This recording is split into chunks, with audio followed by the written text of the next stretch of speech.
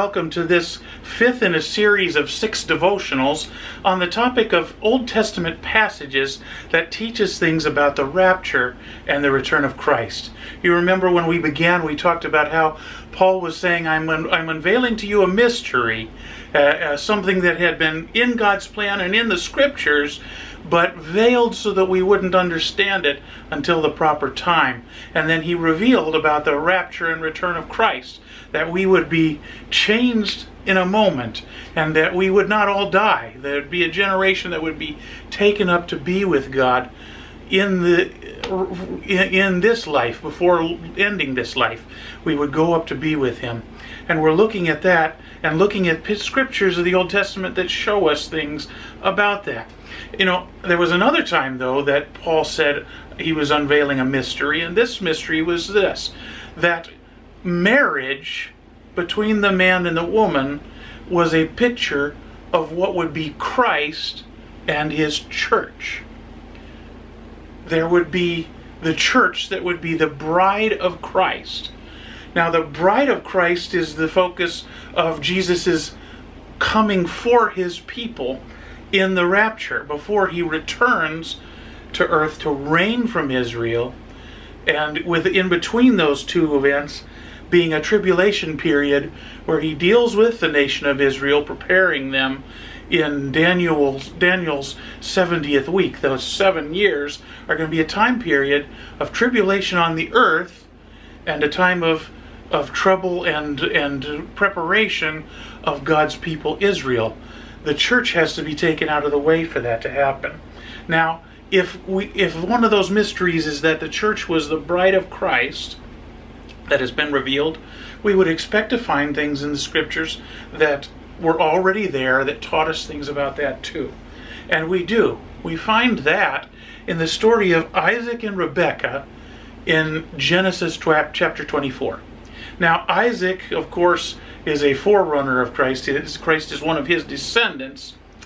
And Isaac is also a type of Christ in the scriptures. That doesn't mean he is Christ, and it doesn't mean that everything in his life was something that Christ also would do, but it does mean that there are events in Isaac's life that are a spiritual picture of what God's plan was for Isaac's descendant, the Lord Jesus Christ, to fulfill, prophetically speaking. And we see that throughout Isaac's life. Uh, Isaac was a child promised beforehand as the Christ was promised beforehand. Isaac was a child that had to be waited for by faith for a long time before that fulfillment would come, just as it would be with Christ and the Old Testament prophets. Isaac was finally conceived and born miraculously, as it would be with Christ. Not virgin born because Isaac was just a man, not God, but his conception and birth was miraculous and and in a response to faith, as as uh, the Messiah would come in that way. Isaac would be born as the one known as the the only son, the beloved son. These are things that would be said of Christ. Uh, Isaac would also be a picture of Christ in the cross and resurrection, as God the Father would tell Abraham, Isaac's father, to do, or at least picture, what God the Father would do with his son. He would tell him, Go and sacrifice your only son Isaac, whom you love. Sacrifice him on this mountain, which uh, Bible scholars believe is actually the location where Calvary would be. And that uh, Abraham took Isaac there, and he was prepared to sacrifice for him there, and he said, God will provide himself a lamb prophetically speaking, not just about God providing a lamb in Isaac's place, but providing a lamb in your place and mine. God's son would be the one sacrificed, not Abraham's son. God's son would be the one sacrificed for all of us to be saved. But Isaac would be a picture of that, and he would willingly go. He would willingly lay himself on that altar as a sacrifice and allow himself to die but of course, we know God stopped Abraham before he actually went through with it making the sacrifice, and they sacrificed the lamb in his place. And and the New Testament tells us that when Isaac was then received back by his father, it was it was like Abraham was receiving Isaac from the dead. Abraham was willing to sacrifice Isaac, it says, because he knew God was able to raise him from the dead. So he believed Isaac was going to die, but he believed Isaac was going to be brought back to life. He had told the servants, We will see you. We will come back to you after we worship. He, he knew Isaac was going to come back alive, even though he didn't know everything about how it was going to happen. So Isaac is a picture of the cross, the sacrifice that his descendant Christ would do, and the resurrection. Well, what does Isaac do then? He goes back with his father. He lives in the household of his father. And time passes. And Isaac's absent from the story for a while. Just with time passing, he's with his father. And after time passes, at the right time, Abraham, representing God the Father by type here, says, It's time for my son Isaac to have his bride so that he can have that relationship with her. The time has come. So, just as there, there is now a, a wait for Christ in heaven, he's waiting right now. There is going to come a proper time. Just like Isaac's birth was at the proper time after oh a wait. Christ's first coming was at the proper time after oh a wait. Now there is a time of waiting to be united with his bride. And that day is coming.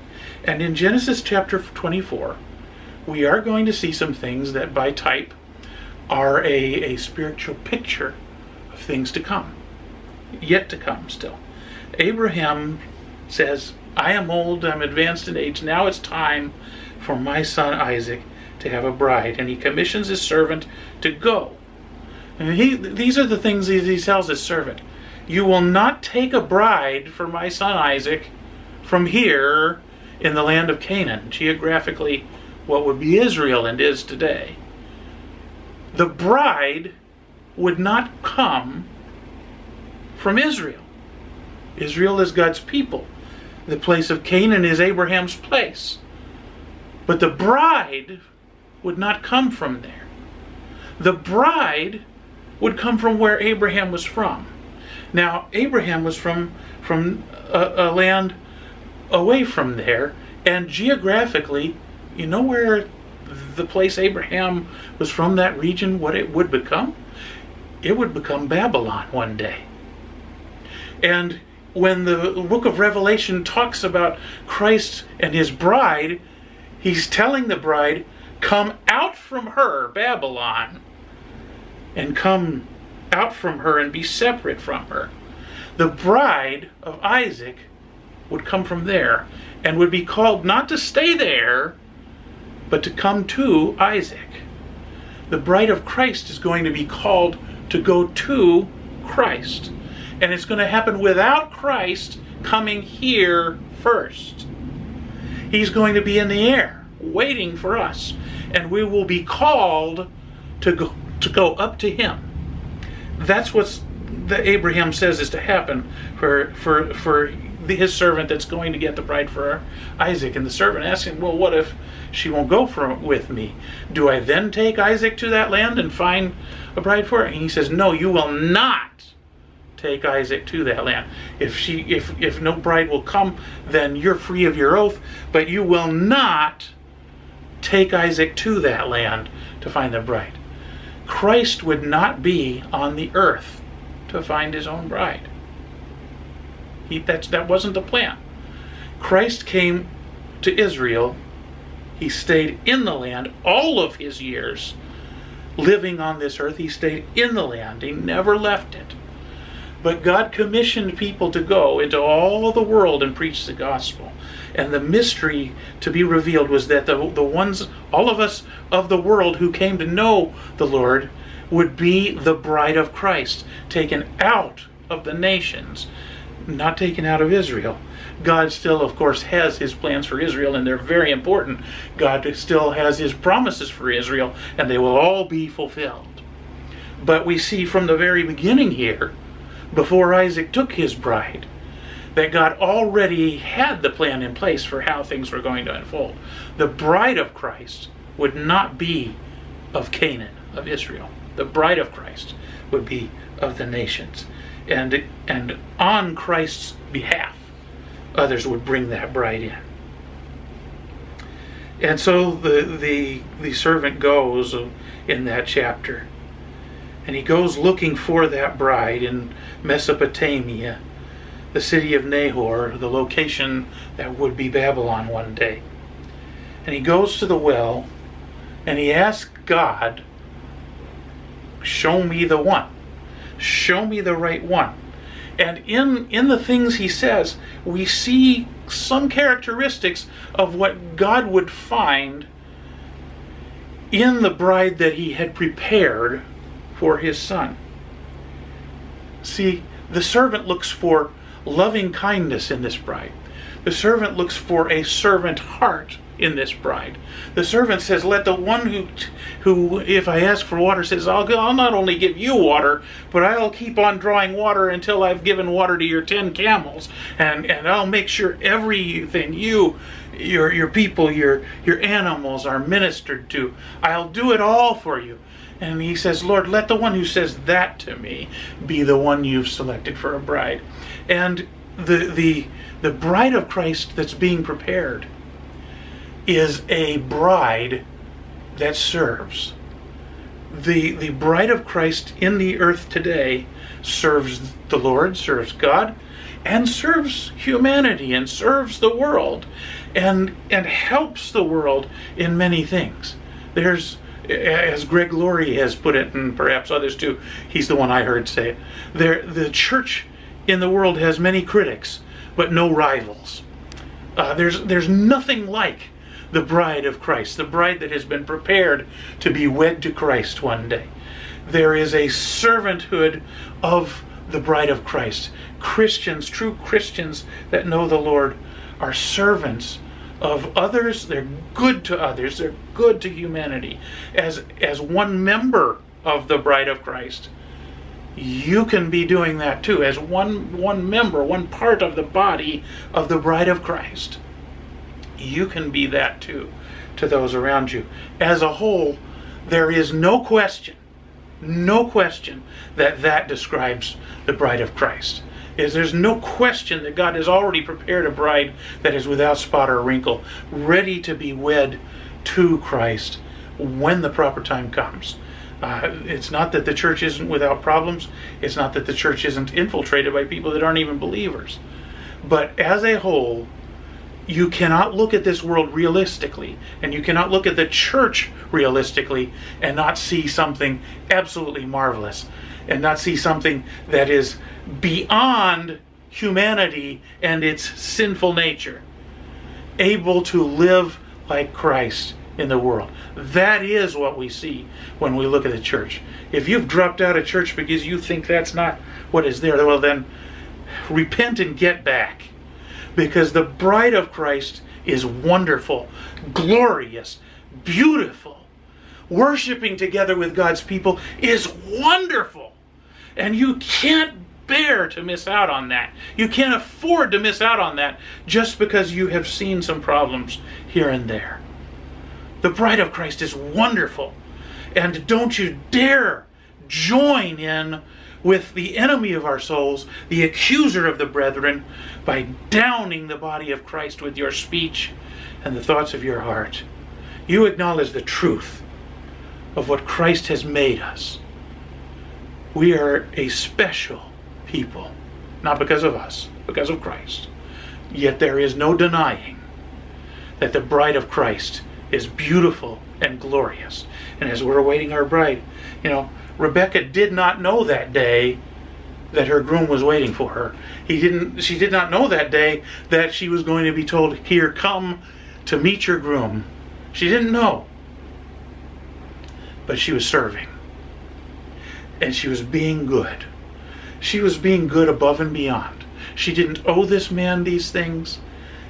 She wasn't obliged to do these things for this man, but she did it. And this servant uh, then sees that she's the one and, and she takes him to her home. And he says, Look, my master Abraham is very blessed of God. He is very rich. And he wants his the bride for his son Isaac. And she tells the story of how God has revealed that Rebecca is to be that one. And he gives gold and he gives gifts to them because the bride of Christ is showered with gifts in, in preparation for being wed to Christ. And those blessings spread around beyond her to, to her family there. And they and uh, they want to delay her going. They want to delay her going. And it has been a long wait for Isaac to get of his bride, but now it's time. So the servant says, No, no, I don't want to wait more time. I don't want to wait ten more days. Night is falling. It's time. She must go with me tomorrow. And they say, Well, we'll ask her. And she says, Yes, I'll go the bride will be willing to go when Christ comes for us. When when he appears in the heavens and when the voice of the archangel calls out to us, come up here or something equivalent to that. The world may not be pleased that you're going. You will be pleased that you're going. You'll be willing to go. And she goes and she's brought to Isaac and Isaac brings her into his tent and she becomes his bride and they celebrate that relationship and that that act uh, of consecration together and and fulfilling all of the things that marriage is as a mystery of Christ and his bride which is we the church are the bride of Christ and he's coming for us and he's coming for us to take us out of this land, staying in his land. After that happens, he will establish his kingdom in Israel after the tribulation period. But uh, we've had the long wait, but the time is coming. And when the time comes, there will be no delay. He'll, he'll be here. We will be changed in an instant. We will be brought up together with him out of Babylon into his kingdom and will be his bride forever. There is a special role in eternity that we, the church, will have. There's a special role in eternity that, that Israel will have. And there's a special role in eternity that, that tribulation saints will have, and a special role in eternity that people saved during the millennial kingdom will have. But we we're the only ones. Uh, all, all of those that we've mentioned will be in heaven and be in the the eternal home of God and the new heavens and the new earth. But that's our special role to be the bride of Christ, and to be the bride of Christ right now means waiting for Him to come for us, announcing the, that the wedding has come. The angel will announce it to us. He won't come to us to get us. He'll he'll be sending someone on his behalf and we'll be taken up to him to be with him in the air and celebrate that. Look forward to it and rejoice in these two mysteries uh, that were hidden, that were in the Old Testament but veiled, but have been unveiled for us, that we can know them and be prepared for things to come. Lord willing, sometime soon we will have our sixth video in the series, which I think will be the, the conclusion of the series because I only have the six in mind. Perhaps in my study, God will give me opportunity to do more, but right now it's planned to be one more after this video. And uh, blessings to you.